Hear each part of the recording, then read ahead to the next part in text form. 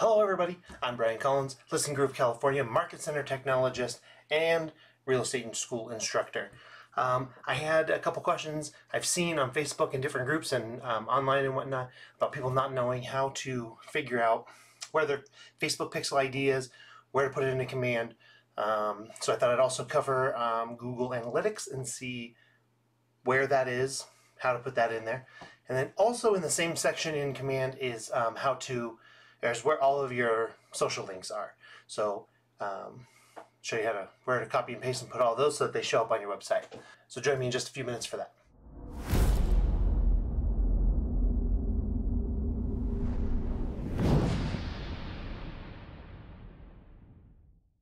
Okay, so here you can see that we have our command open. Um, I've also preloaded Facebook, Instagram, Analytics, and Twitter. Um, we are going to go over here to your settings. That is going to allow us to um, connect right here to connect settings and go to your marketing profile.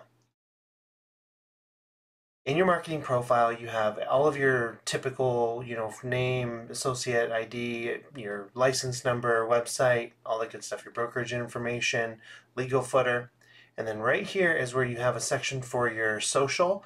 So you can go right here to Facebook, and if you're on your Facebook page, it should have your information there.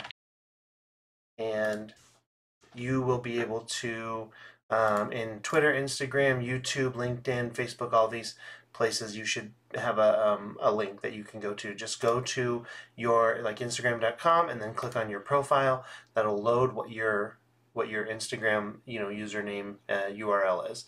Um, same thing with Twitter.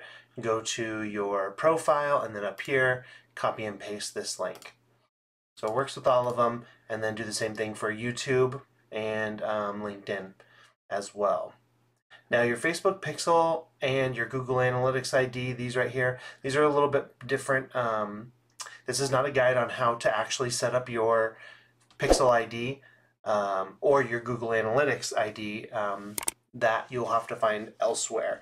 But if you have them set up, this is how you get to them. Um, if you go into your Facebook page here, you can go to Manage Ads.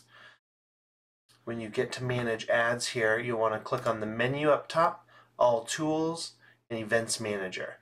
Your Events Manager is where your Pixel ID is stored. Under Data Sources, which is default right here, the very first thing that comes up is your Pixel ID. So you're going to want to copy that and paste it right here into your Pixel ID. Now for Google Analytics, if you go to analytics.google.com, you, you, this should load up your home. Um, you have an admin panel. So under my just my website tracking, I'll look under tracking information and then tracking code. And this will bring up this code right here under tracking ID, UA, you know, all this good stuff. Um, and then I go back into my um, connect settings here my marketing profile and paste that right in here. So that's pretty much it. It's pretty simple as long as you know where to go. I really hope that this was helpful to you. If you have any questions or if you need any other help, um, I'd be more than happy to you know, answer any questions, leave a comment below, and I will see what I can do for you. Thanks so much, and I hope you guys have a great day.